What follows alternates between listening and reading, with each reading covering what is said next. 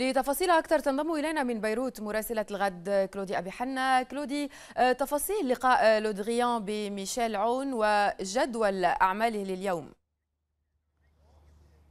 كوثر في الواقع لودريان الآن يجتمع مع رئيس الحكومة هنا في السراي الكبير على مقربة منا وبعد ذلك ينتقل للقاء رئيس البرلمان نبيه بري. أما بالنسبة إلى لقائه مع الرئيس ميشيل عون فبدأ يتضح أن لودريان لا يحمل معه خطة للبنان إنما تأتي زيارته في إبداء اهتمام فرنسا بلبنان وزيارة استكشافية للأوضاع وأيضا تحمل يحمل عنوانا عريضا بارزا هو دعم المدارس المتوأمة مع المدارس الفرنسية وأيضا عدد من المدارس الكاثوليكية المسيحية هنا في لبنان كي لا ينهار هذا القطاع التربوي الذي دعمته فرنسا منذ الانتداب ومنذ استقلال لبنان.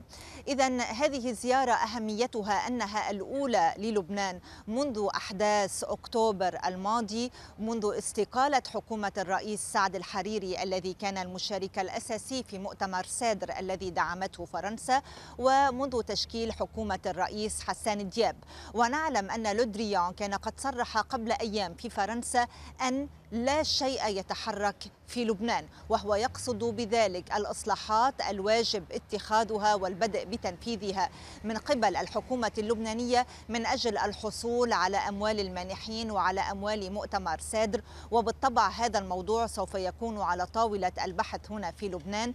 هل سيقتنع من رئيس الحكومة حسان دياب إذا ما قال له إن الحكومة بالفعل بدأت بإصلاحات وأنها ستنفذ المزيد؟ هل سي يعني يقبل لودريان بهذا الأمر لأن الإصلاحات التي تقول الحكومة اللبنانية الحالية إنها تقوم بها تثير الكثير من ردود الفعل وأيضا من الهواجس لدى آخرين باعتبار أنها يعني لا تصب في الإطار الإصلاحي المطلوب وذلك يبدأ مثلا بقطاع الكهرباء الذي لم نشهد حتى الآن أي إصلاحات في اتجاهه. في أي حال المهم أن هذه الزيارة سواء حملت خطة أم لم تحمل خطة إنما تعكس اهتماما من المجتمع الدولي بالأوضاع اللبنانية الفائقة الصعوبة والمهددة بالانهيار التام. كما قال لودريان بنفسه خصوصا أنه إضافة إلى الوضع المالي المتأزم وإلى كل الأوضاع الإفلاس التي تشهدها المؤسسات